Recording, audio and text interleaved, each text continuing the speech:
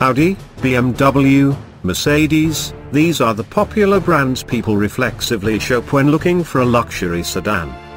But what if you find them to be a bit boring or complacent? That's where the 2018 Alfa Romeo Giulia comes in. This luxury sedan newcomer isn't well known, but once you see it, it's hard to ignore. On the outside, the 2018 Alfa Romeo Giulia looks like nothing else on the road thanks to its taut styling and classic Alfa Romeo grille.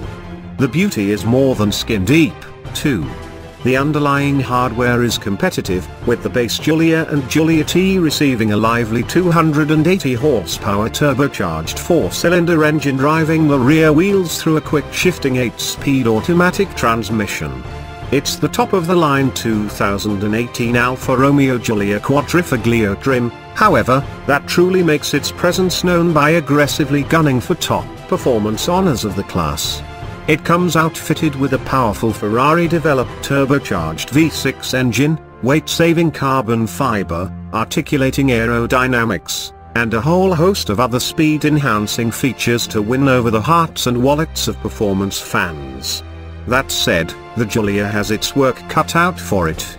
Alfa's dealer network is small, and the jury is still out regarding the model's reliability. But if you're looking for a small luxury sedan that brings some passion to the segment, the 2018 Alfa Romeo Giulia could very well be your car.